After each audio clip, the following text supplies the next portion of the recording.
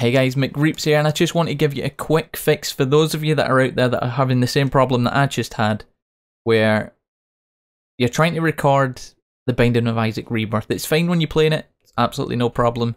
There's no audio issues or anything like that. It's when you go to record it and you have the microphone going, it becomes really choppy. Let me just show you how it sounds. So if we start the Binding of Isaac Rebirth, this is what it sounds like.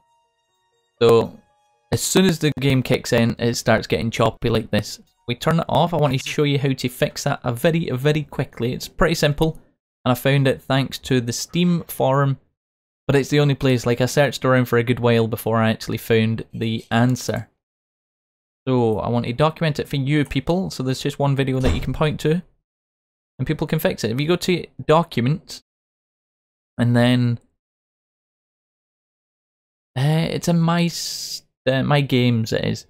So it, it might be in here for you. You should see the Binding of Isaac Rebirth, but it's in my games for me. Binding of Isaac Rebirth. We go into options and we change the controller hot plug from a one to a zero. Just save that, and then if we start the game, like so, it might crackle to start with, but then eventually it will be absolutely fine. And you can play the game, you can play, you can stream it and record it, and your audio won't get all chat up all over the place. So hopefully this helps you guys, and happy gaming.